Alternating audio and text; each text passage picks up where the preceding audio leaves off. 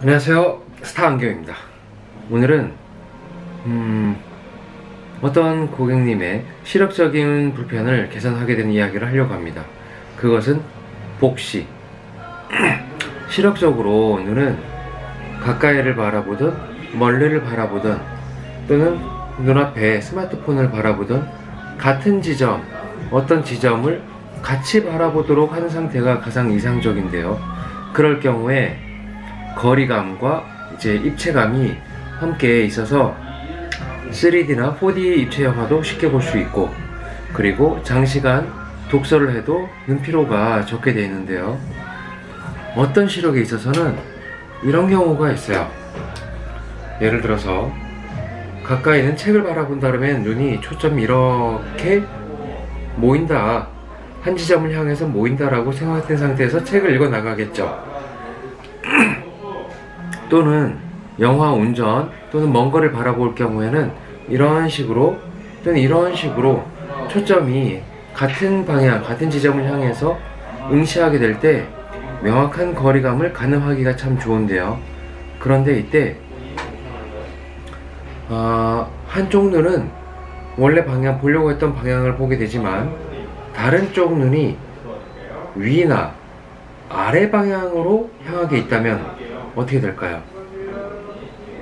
한 방향이 다른 쪽 눈하고 초점이 맞아진다면 참 좋겠지만은 한쪽 눈이 바라보게 될 경우에 다른 쪽 눈이 위나 아래를 바라보게 된다면 말이죠.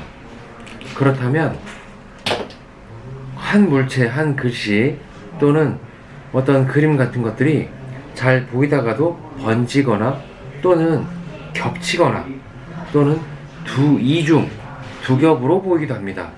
이 현상을 복시라고 이제 하는데요.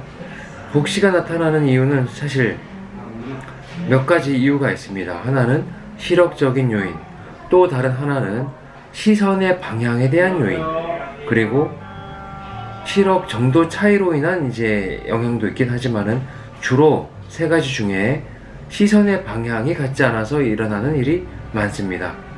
물론 어, 뇌에 신경적인 이상이 있는 경우를 제외하고 말이죠. 그렇다면 이 시력적인 부분에 있어서 복시 부분을 어떻게 계산할 것인가는 실제 주시하려고 하는 눈과 주시를 하고 싶지만은 다른 방향을 바라보게 되는 두 눈의 각도와 거리 또는 정도를 체크하여서 그 위치에 맞게 안경 렌즈를 맞춰주는 방법입니다. 콘택트 렌즈로는 어렵죠. 얘를 말이 어려운데 쉽게 접근해 보겠습니다. 여기에 30cm짜리 금속 자가 있어요. 이 자를 가지고 어, 양쪽 눈으로 바라보게 된다면 내가 원하는 센티미터를 바라볼 수 있습니다. 하지만 양쪽 눈 초점이 한쪽은 이 방향, 한쪽은 다른 곳을 바라보게 된다면 어떤 일이 일어날까요? 이 렌즈를 통해서 이 자를 바라보게 되면 그 위치가 달라지고 있죠. 그 달라지고 있는 것만큼 시선의 방향이 달라진다면 또는 같은 곳을 향해서 보고 있는 것이 아니라면 그때 컨디션에 따라서 예, 점점 차이가 나고 있죠. 지금보다 점점 차이가 나고 있는 것을 알 수 있습니다. 그 정도에 따라서 겹친다. 또는 이중으로 보인다. 또는 야간에 빛 번짐이 많이 있어서 집중을 할 수가 없다. 또는 내가 바라보고 있는 이 지점이 실제로 그곳을 바라보고 있는지 아닌지 의심하면서 눈을 이렇게 찡그리고 바라보게 되는 일 뿐만 아니라 책글씨를 이렇게 읽어 나가다가도 시간이 지나면 이렇게 번지는 듯 춤추는 듯 퍼지는 듯 보이기도 합니다. 이럴 땐 그 정도 각도를 시력적으로 체크하여 그 각도 그 정도를 맞춰주는 안경 렌즈로 제작하여 사용하게 된다면 안경 틀을 이용해요. 안경 렌즈로 제작하여 맞춰 쓴다면 보다 일치된 시야 안정된 거리감 일, 입체 시야가 입체 시가 살아나는 거리감과 크기 감각이 더욱더 좋아지는 것을 느낄 수가 있습니다. 물론 100% 복시에 대한 것을 100% 계산할 수 있다고 말을 할 수는 없을 겁니다. 처음에 말했던 것처럼 그 이유, 그것이 무엇 때문에 생겼는지에 따라 어, 그 결과 또는 그것을 결과를 잘 만들 수 있는 방법, 방향이 같지 않기 때문입니다. 하지만 실업적인 요인 때문에 특히 양쪽 시선이 상하 방향으로 어, 같지 않아서 생기는 복시 현상이 있다면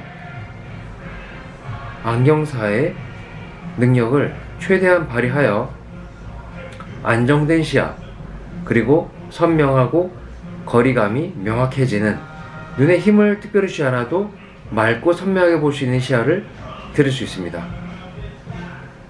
그래서 오늘은 약 열흘 전에 이 안경을 맞추러 오셨던 50대 후반 남성분이 있었어요. 실제로 바라보게 되면 그냥 일반 안경처럼 보이게 되지만 이 안경 렌즈에는 보이지 않는 비밀이 들어가 있어요. 그 비밀은 프리즘 역할인데 프리즘 렌즈라고 부르기도 합니다.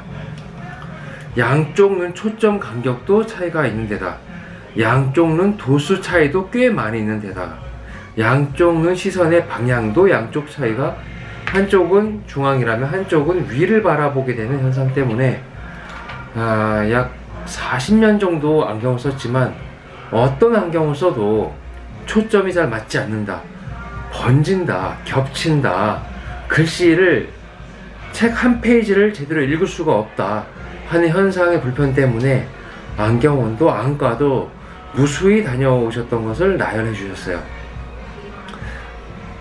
저희는 정밀 검사 시스템을 가지고 있습니다.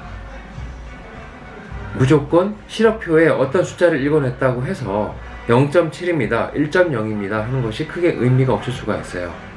그 위치 또는 그 사이즈의 글씨를 지속적으로 편안하게 읽을 수 있느냐 그리고 겹치지 않고 장시간 보더라도 그 위치, 글씨 사이즈를 편안하게 명확하게 거리감을 맞게 읽어낼 수 있습니까? 에 대한 문제로부터 해결을 할 수 있도록 도와드렸습니다. 그로부터 약 열흘 정도 시간이 걸렸어요. 눈부심을 줄이기 위한 제 컬러 예, 작업과 함께 시력 보호를 위한 자외선 차단 100% 400나노미터까지 100% 차단 기능을 말씀드렸습니다. 안경 렌즈의 두께는 양쪽 도수가 약 2배 이상 차이 나더라도 슬라이스 가공을 통하여 마치 마트에 있는 슬라이스 치즈를 생각하시면 될 겁니다. 덩어리 치즈도 있지만 얇은 슬라이스 치즈 말이죠. 슬라이스 가공을 통하여 두께 그리고 무게를 줄이면서 보다 안정된 근거리 그리고 원거리 시야를 바라볼 수 있도록 초점 검사를 통해 제작을 할 수 있었어요. 마지막 검사 테스트를 하게 될때 그 손님의 너무 밝았던 그 얼굴 표정을 잊을 수가 없습니다. 오늘 찾으러 오시면 음, 손님의 표정은 어떨까요? 약 40년 만에 선명하고 또렷하게 보는 그 안정된 그 기분. 손님도 기쁘겠지만 기쁜 손님의 얼굴을 보는 저희 모습도 아주 즐거울 것 같습니다. 복시, 실업으로 인한 것이라면 고민하지 마세요.